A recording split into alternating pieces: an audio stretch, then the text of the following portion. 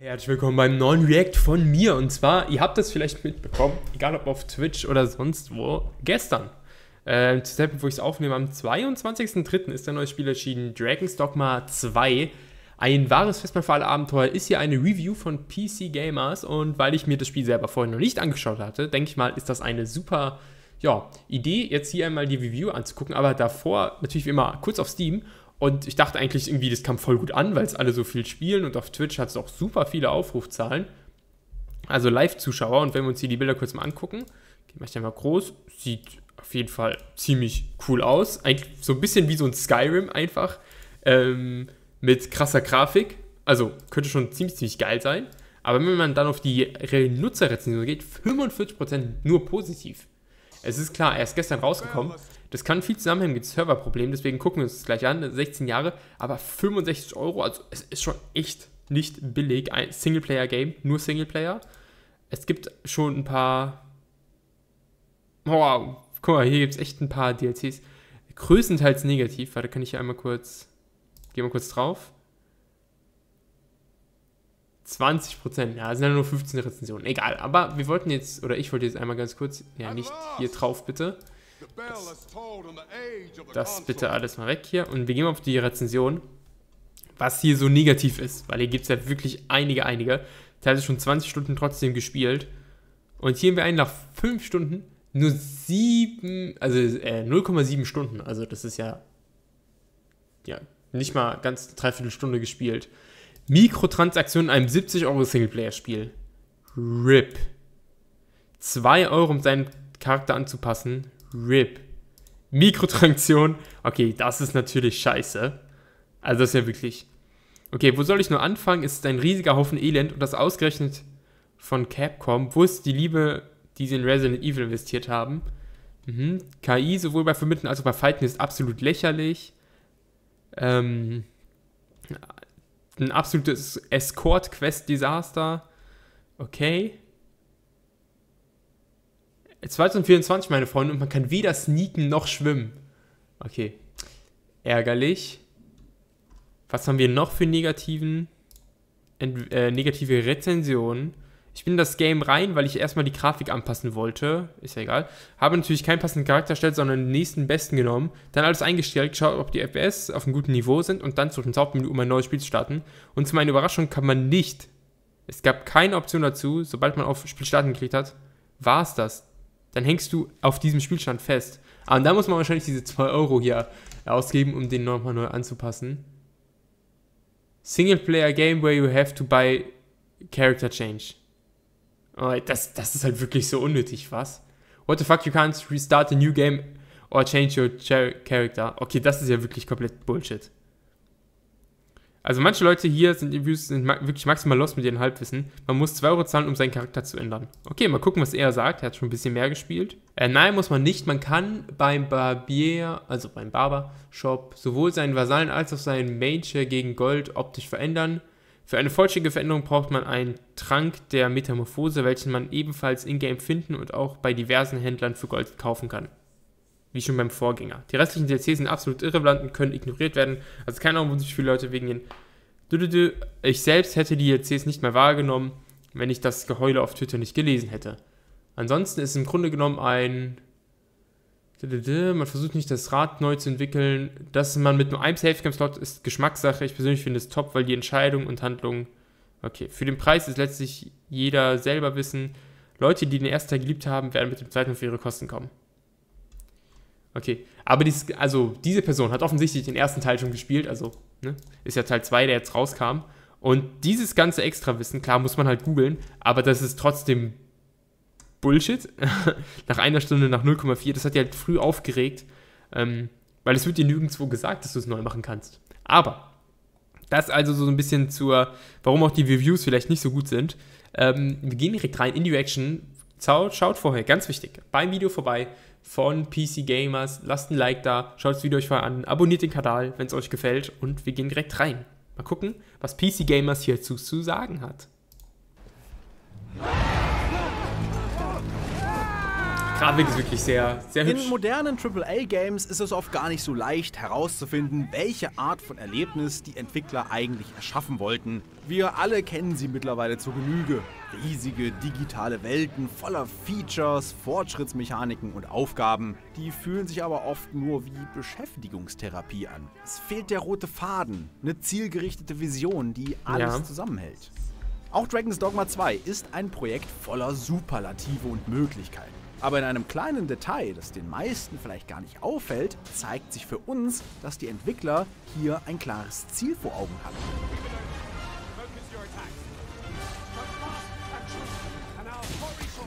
Ich finde den Fall gerade ein bisschen komisch. Ist der jetzt schon besiegt, der Riesen-Oger oder was auch immer das sein soll? Na egal. Gut, die Werbung werden wir kurz überspringen. Wenn wir nach einer langen Reise an einem Rastplatz ankommen und unser Zelt aufschlagen, versammeln wir uns mit unseren Begleitern ums Lagerfeuer. Hier Das ist schon geil. Ich wollte gerade sagen, die Begle- begleitet Catherine und irgendwie noch.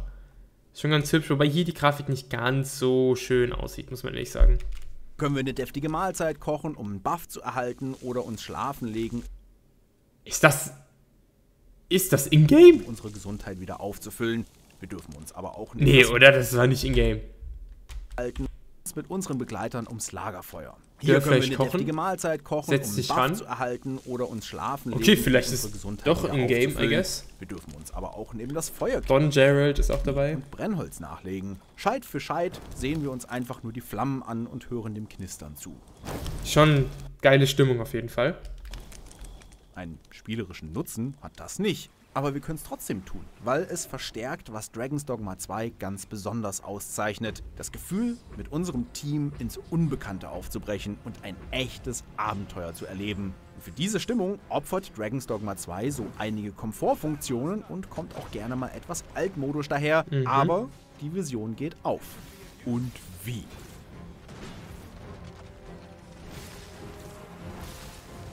Wer den Vorgänger gespielt hat, dem wird vieles in Dragon's Dogma 2 sofort vertraut vorkommen. Wir bauen uns in einem irrsinnig detaillierten Charaktereditor unsere Figur zusammen. Dabei dürfen wir uns auch zwischen zwei Rassen entscheiden, die die beiden Königreiche der neuen Spielwelt bevölkern. Die Prämisse ist Oh, der Drache sieht sehr cool aus. simpel. Ein roter Drache, der Vorbote der Apokalypse, ist erschienen. Weil wir ihm chancenlos, aber tapfer entgegentreten, reißt er uns das Herz aus der Brust und macht uns so zum Erweckten. Wir werden zum klassischen Helden aus der Prophezeiung, der losziehen und ihn erschlagen soll. Als Erweckter sind wir auch in der Lage, mit der Vasallenlegion zusammenzuarbeiten. Das sind Begleiter, die aus einer anderen Dimension geholt werden und uns aufs Wort gehorchen. Unseren Hauptvasall erstellen wir selbst. Die anderen beiden werden offline vom Spiel oder online von anderen Spielern zusammengebaut. Interesting. Man hat hier so Seelenpunkte oder was auch immer. Und ähm, das heißt, man insgesamt ist man eine Vierer-Truppe, was auch sehr cool ist. Zu zweit kann sich so ein Abenteuer immer sehr lonely anfühlen, weil ist ja nur Singleplayer. Nur ausgeliehen. Weite Teile der Story befassen sich im Gegensatz zum konfus erzählten Vorgänger zumindest mit einem klaren Problem. In Vernworth, der Hauptstadt der Menschen, sitzt schon ein anderer Erweckter auf dem Thron. Eigentlich darf es aber nur einen geben. Damit uns das intrigante Königshaus nicht sofort den Kopf kürzer macht, sind wir gezwungen, verdeckt zu arbeiten. Wir brechen mehrmals ins Schloss ein und sammeln Indizien gegen den falschen Erweckten. Das klingt spannend und ist wegen der guten englischen Vertonung und Inszenierung auch unterhaltsam anzusehen. Eine echte Bindung zur Geschichte und ihren Figuren haben wir aber nicht aufgebaut. Charaktere und Erzählstränge werden eingeführt und gleich wieder fallen gelassen. Ein Mitspracherecht oder eine formbare Persönlichkeit hat unser Erweckter auch nicht. That was a lady. Ja, schade, aber ist vielleicht auch nicht so der Hauptgrund, warum man das Spiel spielt. Mal gucken. supposed to work with all these interruptions? In der Mitte des Spiels brechen wir nach Einmal ganz kurz, die Rüstung sieht hier sehr, sehr cool aus, auch das Schild. Batal auf ins Reich der Katzenmenschen. Da und vor allem, wenn es plötzlich aufs scheinbare Finale zugeht, ist es kaum noch nachvollziehbar, warum wir dieses und jenes gerade eigentlich tun. Wegen der Qualität der Story spielt man Dragon's Dogma 2 also nicht. Ja, habe ich mir schon gedacht, ja. Viel überzeugender ist da das Quest-Design. Sowohl bei den Hauptaufträgen als auch bei den Sidequests. Das beweist nämlich Mut zur Lücke. Wir bekommen oft nur grobe Indikatoren, was als nächstes zu tun ist und müssen uns aus dem Kontext erschließen, wie wir vorankommen. Manche Ereignisse passieren Hm. nur zu bestimmten Tageszeiten oder werden gleich mit einem Das sieht sehr atmosphärisch aus, auf jeden Fall. Mit den Glühwürmchen im Hintergrund. Und das ist eigentlich gar nicht so scheiße, weil da musst du dich wirklich mal auseinandersetzen mit so Quest-Texten. Kann einerseits nervig sein, aber ich glaube, wenn man sich darauf einlassen kann, ist es, glaube ich, richtig, richtig cool. Weil wenn da steht, gehe zu X und, äh, keine Ahnung, mache B, dann ist halt klar, was du tun musst, dann machst du es und denkst nicht zweimal drüber nach so, setzt dir noch einen Marker auf die Minimap und das war's. Und wenn da steht, ja, was stand da zum Beispiel? Hier, ein Schatten verfolgt dich, vielleicht von jemandem, der dich nicht gerne sieht. Wenn du dich den Palast einmischst, Fragezeichen, du solltest die Person zur Rede stellen und mehr erfahren. Disputiere dich mit deinem Verfolger. Okay, nimm Kontakt auf. Die dich auf Schritt und Tritt verfolgt hat. Also, wer ist das? Wann? Seit wann? Was wollen die von mir? Wie kann ich Kontakt treten? Das sind alles Fragen, die nicht beantworten werden durch die Questfrage. Finde ich sehr cool.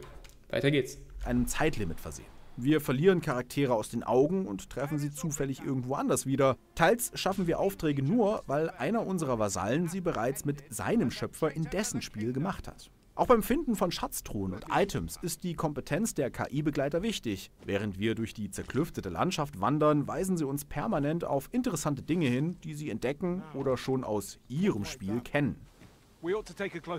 Und nur dann werden sie temporär auf unserer Karte markiert.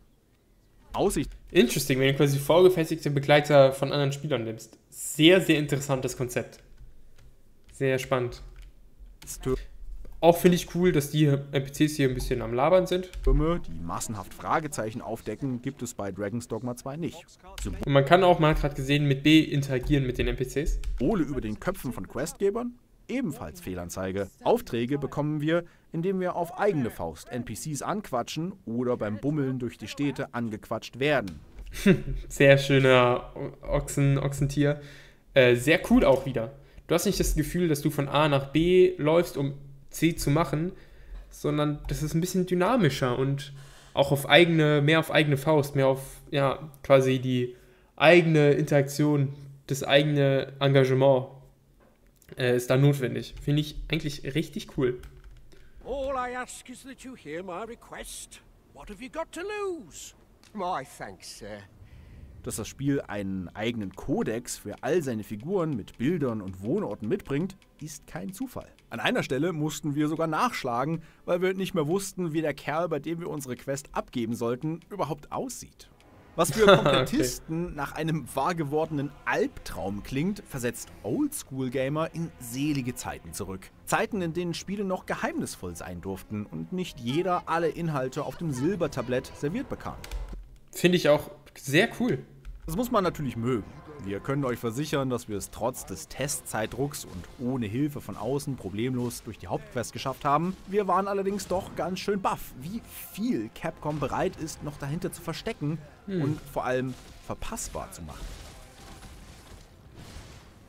Ebenso begeistert haben uns die actiongeladenen Kämpfe. Die lassen den Großteil der Rollenspielkonkurrenz aussehen wie eine zweitklassige LARP-Veranstaltung. Ob als Krieger, Magier, Dieb oder Bogenschütze. Das Spiel erzeugt ein kinetisches, instinktives Kampfgefühl. Wir bringen mit unserer Truppe etwa ein großes Monster zu Fall, indem wir seine Flügel anzünden, stechen martialisch auf Schwachpunkte ein oder schleudern kleine Feinde durch die Gegend. Kleine Feinde. Das Ding ist riesig. Thematisch ist es eher in der Light Fantasy zu Hause. Trotzdem zeichnet Dragon's Dogma 2 eine Welt, in der Monster auch wirklich Monster sind und sich niemand zurückhält. Der Schwierigkeitsgrad ist moderat. Immerhin können wir jederzeit unser Inventar öffnen und uns Heil-Items reinkippen. Trotzdem verlangen die Kämpfe Engagement und überlegtes Vorgehen. Das haben wir vor allem als Krieger zu spüren bekommen. Wenn wir von einem schwer gepanzerten Goblin umgehauen werden, zögern seine Kollegen nicht, uns am Boden weiter zu vermöbeln. Ein Zyklop wartet auch nicht darauf, dass wir wieder aufstehen können, bevor er zum nächsten Stampfer ansetzt. Wenn wir einen weiblichen Charakter spielen, kann es auch schon mal vorkommen, dass wir von einem sabbernden Oger in den Wald geschleift werden. Ohne die tatkräftige Unterstützung der Vasallen wären wir in solchen Situationen aufgeschmissen. Da ist es umso erfreulicher, dass die Kollegen in den meisten Fällen wirklich alles geben. Haben wir einen Magier im Team, können wir uns darauf verlassen, dass er unsere Waffen mit passendem Elementarschaden verzaubert, geht uns durch Das ist natürlich sehr wichtig, dass die drei KI-Begleiter auch sich sinnvoll handeln. Wir haben es in der Rezension gesehen, dass sie wohl nicht so stark sind, die KI. Aber ja, zumindest an sich, das Konzept ist schon echt cool. Ist schon wirklich sehr, sehr nice. Durch den Einsatz der vielen Skills die Puste aus, kommt zuverlässig jemand vorbeigelaufen und peppelt uns wieder auf. Und wenn wir es geschafft haben, einen großen Feind umzuwerfen, wird von allen Beteiligten gnadenlos draufgehalten. Hier und da lässt uns ein Vasall mal auf den Boden klatschen, statt uns aufzufangen oder nimmt sich ein bisschen zu viel Zeit dabei, uns hochzuhelfen. Insgesamt haben wir aber kaum Gründe, über die KI Ja, zu was macht er mit dem Stein? Erzeugt Habt ihr das gesehen? Insgesamt haben wir aber Hier der, der Begleiter, ich sagen Kaum Verfolger, mit dem über Stein. die KI zu meckern. Okay. Das erzeugt trotz des nicht vorhandenen Koop-Modus ein tolles Gemeinschaftsgefühl. Jeder erfüllt die Rolle, die ihm bei der Klassenauswahl zugewiesen wird. Von diesen Klassen oder Laufbahnen gibt es zehn Stück. Jede mit eigenem Equipment und Spielstil. Finde ich nice. Ich hatte gerade ein bisschen Angst, dass es insgesamt nur vier gibt und du hast quasi immer, keine Ahnung, du hast einen Tank, du hast einen Damage Dealer, du hast einen Ranged und du hast einen Magier, also einen Support. Ähm, schön, dass es mehr gibt als vier. Nahkampfklassen verwenden klassische Hack-and-Slay-Manöver, die sich durch die Einbeziehung der Physik allesamt wuchtig anfühlen. Magier, Bogenschützen und magische Bogenschützen feuern effektreich aus dem Hintergrund und sind vor allem bei fliegenden Gegnern im Vorteil. Die muss ein Nahkämpfer oft erst erklettern. Dieb und Trickster setzen auf Schnelligkeit und Täuschungsmanöver. Unsere eigene Klasse und die unseres Hauptvasallen dürfen wir in der Laufbahn Gilde wechseln und mit vielen Skills ausstatten. Leider lassen sich aber immer nur vier aktive Fähigkeiten gleichzeitig ausrüsten, wodurch wir situationsspezifische Skills meistens liegen gelassen haben. Es kann auch eine Weile dauern, bis die voll beladene Controllersteuerung verinnerlicht ist. Dass es weder eine Lock-on-Funktion noch eine Ausweichrolle für alle Klassen gibt, lässt manch hektischen Kampf umständlicher als nötig werden. Beim Klettern auf Gegnern ist außerdem nicht krass ist klar, denn? wo gerade vorne und hinten ist. Das erfordert eine Neupositionierung und kostet wertvolle Ausdauer. Selbst mit diesen kleinen Störfaktoren ist das System insgesamt ein durchschlagender Erfolg. Abseits von Souls-Likes gibt es nur wenige Rollenspiele, in denen es so riesigen Spaß macht, gegen so riesige Gegner zu kämpfen. Einen großen Teil trägt die erstklassige Präsentation bei. Vor allem in puncto Detailgrad von Monstern und Umgebung lässt die RE-Engine die Muskeln spielen. Die pompösen Effekte sind auch nicht von schlechten Eltern. Wenn wir zu Beginn durch die Waldlandschaften des Menschenreichs Vermin streifen, sich jedes Grasbüschel bewegt und die Beleuchtung durch die Bäume schimmert, kommt ordentlich Atmosphäre auf. Dragon's Dogma 2 ist dabei nicht wie Elden Ring voller Mo Ah, guckt euch das mal an. Mit der Farm hier. Ich gehe gerade noch mal ein bisschen zurück.